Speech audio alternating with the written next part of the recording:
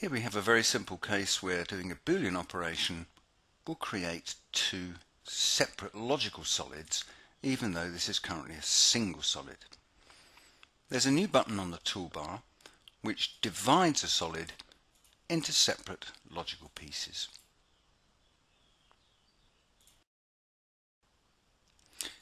Here I want to extract all of the internal detail for this part as separate solids. Very quick way to do that is to select the faces that form the join between the inner and outer faces of the part, extract those. I now have a solid that is in three separate pieces. Simply use the divide tool to get back to those pieces individually. And now we have all of the internal detail and the external faces of the part as separate components.